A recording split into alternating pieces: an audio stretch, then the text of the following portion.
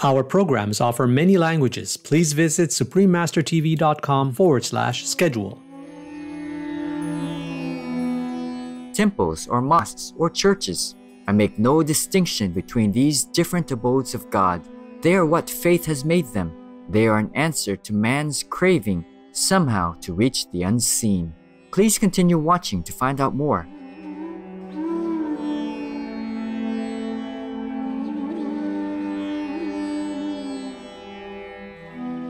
Enani Rikannu translates as How are you in Malayalam, the official language of the islands of Lakshadweep.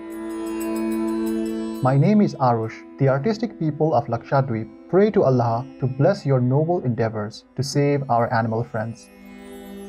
May heaven reward you abundantly.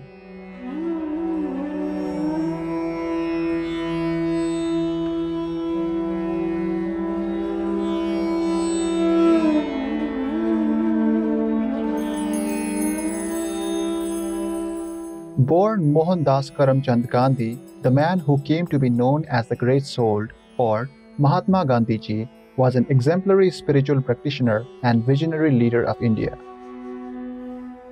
Born in 1869, this passionate servant of humanity first became a lawyer. However, he felt a different calling from within as he discovered a fervent wish to improve the lives of all people. The beloved Mahatma Gandhi ji sometimes spoke about desired changes in government. However, he would meditate and fast to encourage a non-violent and beneficial outcome. He thus became an example of peaceful change for an entire country. In his book, All Men Are Brothers, Mahatma Gandhi ji humbly reflects on his own life and inner realizations as a way to illustrate the unity of our global spiritual family. In one passage, he describes faith as a divine principle within us all, regardless of religion. It is faith that steers us through stormy seas, faith that moves mountains, and faith that jumps across the ocean.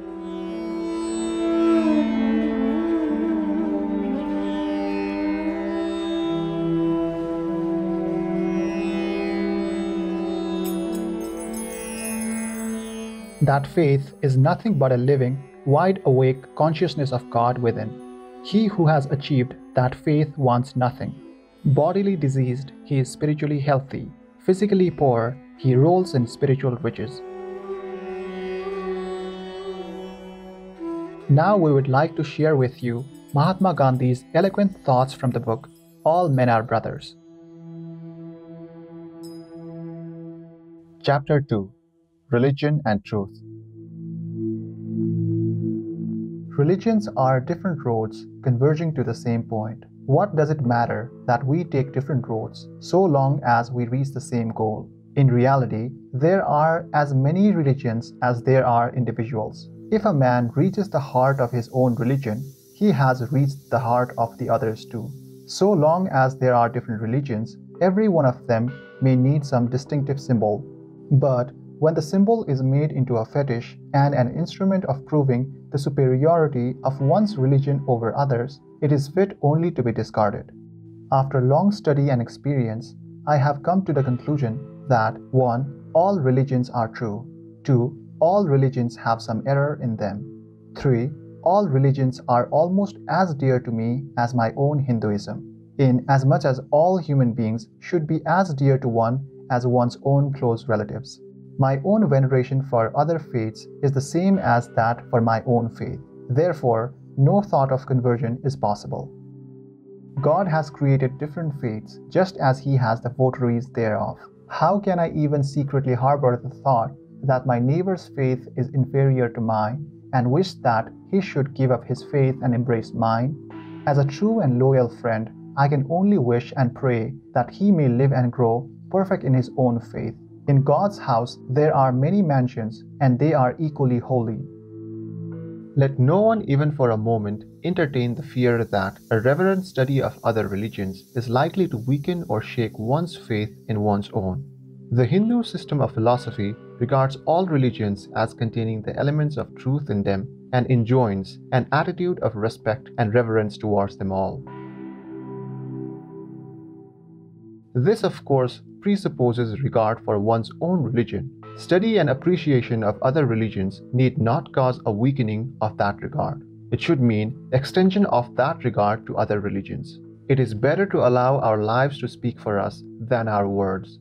God did not bear the cross only 1900 years ago, but He bears it today, and He dies and is resurrected from day to day. It would be poor comfort to the world if it had to depend upon a historical God who died 2000 years ago.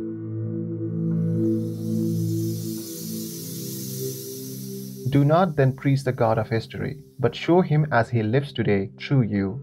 I do not believe in people telling others of their faith, especially with a view to conversion. Faith does not admit of telling.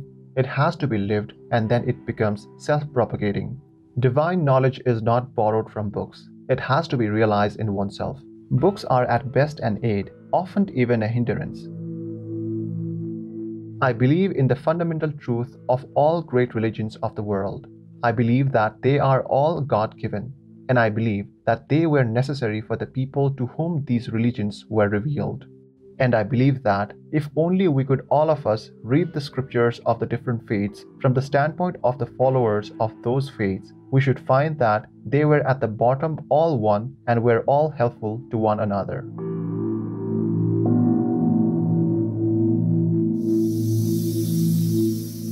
Belief in one God is the cornerstone of all religions, but I do not foresee a time when there would be only one religion on earth in practice.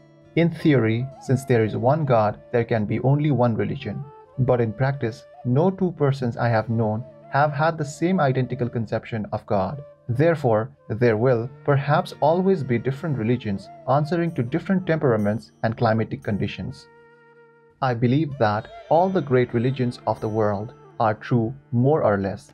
I say more or less because I believe that everything the human hand touches, by reason of the very fact that human beings are imperfect, becomes imperfect.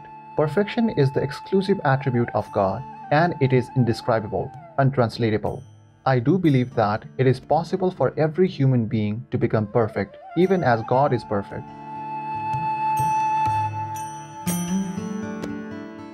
It is necessary for us all to aspire after perfection. But when that blessed state is attained, it becomes indescribable, indefinable. And I, therefore, admit in all humility that even the Vedas, the Quran, and the Bible are imperfect word of God, and imperfect beings that we are, swayed to and fro by a multitude of passions, it is impossible for us even to understand this word of God in its fullness. I do not believe in the exclusive divinity of the Vedas. I believe the Bible, the Quran, and the Zend Avesta to be as much divinely inspired as the Vedas. My belief in the Hindu scriptures does not require me to accept every word and every verse as divinely inspired. I decline to be bound by any interpretation, however learned it may be, if it is repugnant to reason or moral sense. Temples or mosques or churches, I make no distinction between these different abodes of God. They are what faith has made them. They are an answer to man's craving somehow to reach the unseen. The prayer has saved my life. Without it, I should have been a lunatic long ago. I had my share of the bitterest public and private experiences. They threw me in temporary despair. If I was able to get rid of that despair, it was because of prayer. It has not been a part of my life as truth has been. It came out of sheer necessity as I found myself in a plight where I could not possibly be happy without it. And as time went on, my faith in God increased, and more irresistible became the yearning for prayer. Life seemed to be dull and vacant without it. I had attended the Christian service in South Africa, but it had failed to grip me. I could not join them in it. They supplicated God. I could not. I failed egregiously. I started with disbelief in God and prayer, and until at a late stage in life, I did not feel anything like a void in life. But at that stage, I felt that as food is indispensable for the body, so was prayer indispensable for the soul. In fact, food for the body is not so necessary as prayer for the soul. For starvation is often necessary to keep the body in health, but there is no such thing as prayer starvation. You cannot possibly have a surfeit of prayer.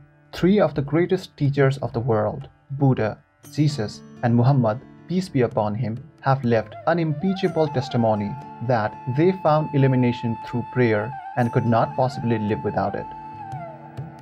Millions of Hindus, Muslims, and Christians find their only solace in life in prayer. Either you call them liars or self deluded people. I will say that this lying has a charm for me, a truth seeker, if it is lying that has given me that mainstay or staff of life without which I could not live for a moment. In spite of despair staring me in the face on the political horizon, I have never lost my peace. In fact, I have found people who envy my peace. That peace comes from prayer. I am not a man of learning, but I humbly claim to be a man of prayer. I am indifferent as to the form. Everyone is a law unto himself in that respect. But there are some well marked roads, and it is safe to walk along the beaten tracks trodden by the ancient teachers. I have given my personal testimony. Let everyone try and find that, as a result of daily prayer, he adds something new to his life.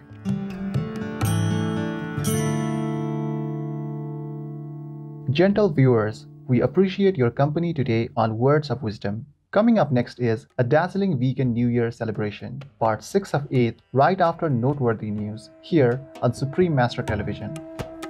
May God's comforting love and light uplift your heart and soul.